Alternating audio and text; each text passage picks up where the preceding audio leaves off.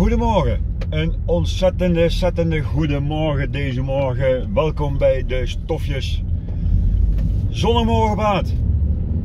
Ha, haha, we zijn er weer. Uh, nou, uh, het is te zien, uh, ik heb Julianus shirt aan. Nou, houd in, ben niet in het bos geweest. Ah. Maar, houd ook in, ik ben ook niet naar de gym geweest. Waarom ben ik er toch zo vrolijk? Uh, omdat we vandaag de jongens gaan testen. Die worden getest. En uh, daar komt een bepaald resultaat uit. En dan over een aantal weken krijgen ze nog een keer een test. En uit die resultaten blijkt of dat iemand uh, uh, wel vooruit is gegaan. Of stil blijven staan. Of bijna onwaarschijnlijk, of die achteruit is gegaan in de prestatie. Uh, nou zijn er natuurlijk allerlei gegevens bekend bij die man, die doet het al een jaar of uh, 5, 6, 7, ik weet niet hoe lang. Uh, maar die heeft natuurlijk allerlei resultaten uh, in een lijst staan. Waarop te zien is of dat iemand zeg maar in een bepaald niveau zit. Dus uh, nu uh, hebben we te maken met vierde divisie. En daar is een bepaald, bepaald uh, fitheid aan, ligt aan de grondslag. En daar kan hij meten. Hij kan dan uiteindelijk ook zien of dat iemand dat niveau heeft. Natuurlijk is het niet 100% te zeggen, want iemand, bijvoorbeeld een, een, een, keeper, heeft een hele andere soort fitheid nodig dan een spits of een, een, een middenvelder. Uh, maar goed, ook die statistieken schijnt hij te hebben dat hij precies weet van als die persoon daaraan voldoet, ergens in een bepaalde range, dan zit hij goed. Nou, dat krijgen we vandaag. En ik ben best wel, uh, ik ben daar best wel een beetje hyped voor. Ik vind het wel leuk. Dit soort uh, statistieken straks zien, krijgen. Ehm, ja, mooi. Mooi. Vind ik leuk. Nou, dan zal het ook nog eens zo zijn dat wij dit seizoen uh, met deze zondagmorgenvlog dit vaker krijgen. Dat ik geen tijd heb om s morgens vroeg eerst te gaan sporten, uh, omdat we vroeg weg moeten. We hebben uh, een aantal reizen richting het westen van Brabant en richting het zuiden. Waardoor we redelijk vroeg moeten vertrekken. En ja, dan wordt het lastig om dan nog eerst te gaan sporten. Of ik moet dat heel erg vroeg gaan doen. Goed, ik wil op zich best wel vroeg sporten, maar om dan om uh, 7 uur al in het uh, bos uh, te moeten gaan staan, dat vind ik een beetje te ver. Dan kun je zeggen, ja, 8 uur is dan prima. Maar ik heb dan liever 8 uur dat ik dan in het bos ga hardlopen dan 7 uur. 7 uur houdt in, ik sta meestal een uur van tevoren op, dus houdt in dat ik om 6 uur al op moet gaan staan. ja, precies, dat. Dus dat gaan we maar niet doen. En dan heb ik aanstaande week ook nog eens een keer vakantie. Zit ik natuurlijk wel over te denken van, ga ik dan met vakantie wel ook een zondagmorgenvlog doen? Daar ben ik nog over aan nadenken. Ik ga mijn laptop waarschijnlijk wel meenemen, want ik, ik, ga natuurlijk in de vakantie proberen om ook wat andere dingetjes uh, te doen. Die ik op de laptop ga zetten. Nou goed, ik ben me bezig. Uh, met zoveel dingen bezig en ik kom er niet aan toe. Uh, bijvoorbeeld uh, vorige week of twee weken terug heb ik al een keer iets uh, verteld vanwege de Efteling. Daar zijn we heen geweest. Ik heb nog steeds niet af. Ik wilde er gisteren aan beginnen. Toen kreeg ik een update te lopen van het programma waar ik mee werk. En ik heb wat, wat dingen omgezet naar de externe harde schijf. want mijn harde schijf van de laptop nu begon aardig vol te raken. Dus ik heb wat een en ander overgezet. Maar ik kan er niet zomaar alles overzetten. Want als ik bepaalde uh, foto's of, of uh, delen uh, overzet naar een andere externe schijf en ik wil daar uiteindelijk weer gebruik van maken binnen dat programma, dan weet dat programma niet. Dan zegt hij van ik kan deze file niet vinden, want hij gebruikt dan de foto die ik heb ingevoerd in het programma. Dat slaat hij op waar hij het vandaan heeft gehaald. Dus het is geen eigen programma die uh, de film ergens hard opslaat. Waardoor ik als ik de, de foto uh, van mijn D-schijf afhaal, bij wijze van spreken, dat het dan nog doet. Dat programma ziet, ik heb die foto gehaald van de D-schijf.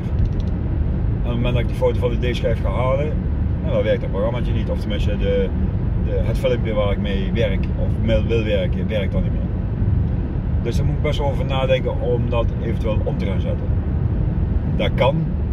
In dat programma kan ik dat soort dingen wel gaan omzetten. Dus dat weer opnieuw linkt naar een nieuwe, dus bij spreken naar de E-schijf. Dat kan. Alleen, uh, ja, daar moet ik even tijd voor uh, uittrekken. Dus ja, dat is een beetje het verhaal van vandaag. Het is mooi weer, de temperatuur is goed. Nu de resultaten nog. Ik ben echt, ik ben echt benieuwd. Ik ben echt benieuwd. En ik denk een aantal jongens ook wel. Sommige jongens zullen denken van ja, ja we moeten, wat moeten we ermee? Waar halen we die hieruit? Maar ik ben, eh, ik ben echt, eh, echt benieuwd wat dit gaat worden. Misschien ook een, eh, een, een eye-opener voor, voor de spelers die uiteindelijk natuurlijk ook de resultaten te horen krijgen. Van je zit op dat niveau of dat niveau. als het goed is zal die man dat vandaag ook nog een keer weergeven. Dat hij precies kan zien van oké, jij zit met jouw conditie zit jij nou op een tweede klasse niveau. Dus jij moet meer. Jij moet omhoog. dan komt erbij, hoe kan de trainer of hoe kunnen wij als Juliana zorgen dat die persoon dan uiteindelijk met de tools die we hebben ehm, dat niveau kan gaan halen. Er zit natuurlijk ook een stukje bij de persoon zelf bij. Want dan gaat natuurlijk niet met alleen maar twee keer trainen en een zondagmorgen uh, of en een zondagwedstrijd. Dus daar zal die persoon zal er zeg maar buiten de Juliana-normen of Juliana-tijd om misschien ook wel wat aan moeten doen. Ja. Ja. Uh, dat wordt er een eentje. En natuurlijk heeft alles ook uh, te maken met hoe dat het uh, gaat in de groep. Ik moet zeggen, uh, de trainingen die ik nu heb gezien van, uh, van Dave, onze nieuwe trainer. Ik, ehm, ik ben er wel content mee. Ik ben wel content mee. Wordt uh, goed getraind en ja, normaal gesproken is het eigenlijk altijd zo op moment dat er een nieuwe trainer is. Uh, er, er, zijn nieuwe kansen voor jongens die bij spreken seizoen onder andere trainer bij bod zijn gegaan. Dus alles in de beginfase gaat net even een tandje feller, net even een tandje beter om te manifesteren voor de nieuwe trainer en je in, in je pitcher uh, te spelen. Uh, of te trainen in dit geval. Ehm, maar waar ik bedoel te zeggen is, hij houdt wel degelijk rekening mee met belastbaarheid en belasting van de spelers. Dus dat we ehm, niet komen in de zin van, oké, we hebben daar een voorbereiding gehad en in de voorbereiding hebben we daar al drie geblesseerden. Omdat ze overtraind zijn of iets dergelijks. En dat vind ik gewoon klasse om daar rekening mee te houden. En zeker in een beginfase, want je wil als trainer wil je gewoon een 100% fitte ploeg straks aan de, aan de start met 20 man. Eh, zonder uitzonderingen. Dat wil je. Maar dat is niet altijd realistisch. Dat kan gebeuren door een uh, misstap, dat iemand een uh, enkel uh, blesseert en, en een kleine enkelblessure oploopt. Nou, dan kun je al niet meer trainen. Dan zit je al niet meer bij die, bij die zeg maar, gesorteerde 20 stuks, bij wijze van spreken. Enzovoort, enzovoort. Zo zijn allemaal van die dingetjes die die een, rol kunnen spelen in het wel of niet hebben van een vette ploeg. Um, aanvang competitie. Wat zeggen, aanvang competitie. Dus ja, en nogmaals, uh, ook uh, Guido, onze fysio, die zegt ook van ik, uh, hij, hij ziet hier wel een, ehm, een verschil. Een verschil van methodiek aan trainen, het verschil van uh, wel of niet belasting hoog opvoeren of juist laag opvoeren, eh, laag houden. Oh, even een beetje gas geven zodat ik voorbij deze bus kan komen, zodat ik uh, dadelijk kan invoegen. Hoppakee, ja. Uh, nou ja, dat zijn dus van die dingen waaruit je kan zien dat de de trainer ermee bezig is. Ehm, wij koppelen natuurlijk ook terug van, van jongens die, die bij ons zijn gekomen. Als er iets is wat hij wat zou moeten weten. Daar ligt natuurlijk ook een stukje, als er iets is wat hij zou moeten weten. Een stukje krijgsgebied.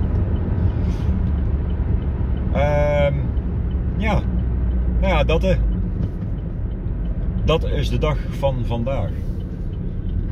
Nogmaals, morgen gaan we vakantie.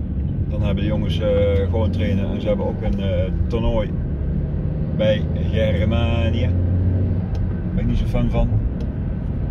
Goed om dat nou hier uitgebreid over te gaan hebben, dus ik niet zo zitten. Maar fan ben ik niet van dat toernooi. Hij heeft ook een beetje te maken met de organisatie. Kijk, natuurlijk, je moet oefenwedstrijden hebben, dat, uh, dat, dat doe je het voor.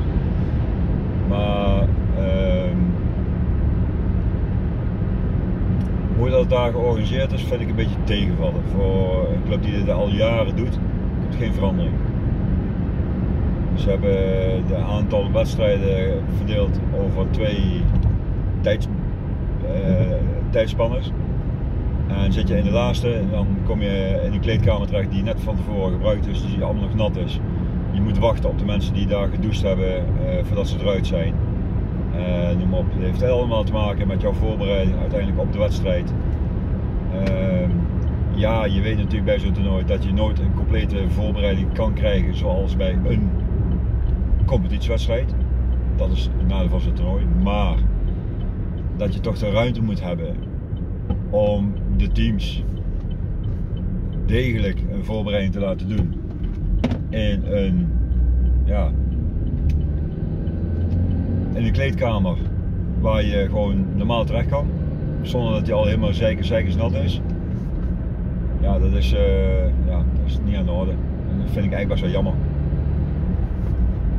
Dat doet het toernooi niet goed vind ik. Ja, er wordt nog steeds op ingeschreven, Club Er zijn toch mensen die dit uh, toernooi dan vinden als, uh, als voorbereiding.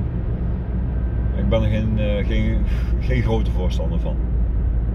Maar goed, dat is wat het is. Nou, zo wij, zo wij, wij, wij, rijden nu uh, binnen. Nou, we zijn wel binnen gereden. Dus, bij deze ga ik dit praatje afsluiten. Ik zit nu inmiddels al op uh, bijna 12 minuten. Is een lang praatje. Maar goed, stuk hè. Graven, mallen. Een stukje die kan rijden. Dus, bij deze zeg ik uh, tot de volgende keer. En um, nogmaals, ik weet nog niet precies wat ik volgende week uh, ga doen. Ik ben wel in ieder geval van plan om, mijn laptop mee te nemen en wat, spullen mee te nemen. Zodat ik het volgende week zondag wel even op de YouTube kan zetten. Dus dat ga ik waarschijnlijk wel proberen. Onder voorbehoud. Dus bij deze zeg ik een heel goed weekend verder nog. Voor de tijd die ja, rest. Dat kan ik natuurlijk wel zeggen, maar als er gekeken wordt, is het weekend al lang voorbij. Praat ik toch weer onzin. maakt niet uit. Het gaat om het, uh, om het idee. Uh, ik zeg in ieder geval fijne dag en dan tot de volgende keer. Ik zeg met een heel korte Oh nee. Oh ja. Bijna vergeten. Duimpje omhoog. Abonneer dit kanaal. Job, als je dit kijkt, voor jou helemaal top. Trouw aanhanger. Lekker man. Leuk. Ik ga in ieder geval afsluiten en zeg nogmaals, heb net al gedaan. Tot de volgende keer. Ik zeg een tjoe.